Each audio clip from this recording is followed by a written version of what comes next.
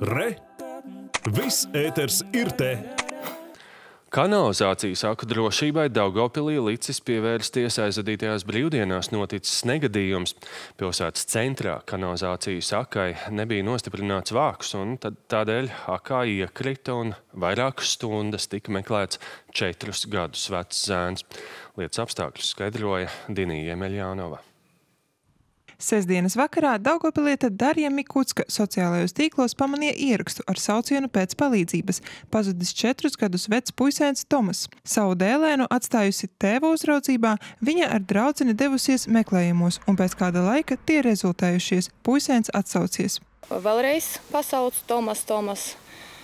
Uh, pamanīju, ka ļuk bija atvērts, jā, drusciņi, nu, tā, tāda varbūt un, un jā, pieskrēju, paceļu augšā. Viss, viņš, viņš bija, bija tur, viņš neraudēja neko. Smaidīja, ka bija atrasts. Jā. Darija vērtē, ka pati bijusi lielākā izbīlī nekā zēns. Arī Daugavpils slimnīcā, kur vēlāk izmeklēts Tomasa veselības stāvoklis, dzīvībai bīstami miesas bojājumi nav konstatēti. Ģimene nesot bijusi vietējie un devušies prom. Šobrīd neviena persona nav vērsusies ar iesniegumu policijā, bet mēs veicām, protams, pārunas ar vecākiem par bērnu aprūpas pienākumu pildīšanu. Lietvedību vērtējot bojātās infrastruktūras īpašnieku atbildību, valsts policija uzsāks, ja tiks saņemts iesniegums.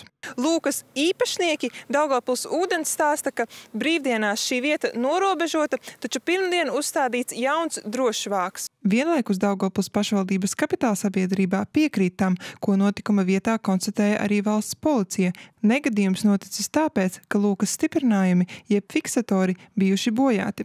Kanalizācijas infrastruktūras pārbaude pēdējo reizi veikta janvārī. Toreiz bojājumi netika pamanīti. Uzņēmumā uzsākta dienesta pārbaude. Tie tīkli bija izbūvēti diezgan sen, tur kanalizācijas keramikā un tieši tā ākā izbūvēta no ķiegeļiem un vāks nu, diezgan tāda stāvoklī. Nu, Cik viņš sen varētu būt izbūvēts? Nu, es domāju, ka 50 gadu atpakaļ. Uzņēmumā norāda, ka kanalizācijas saku modernizācijas darbiem trūkst finansējuma un vērtē, ka šādas investīcijas pašvaldības infrastruktūrā būtu jāpalīdz sekt valstī.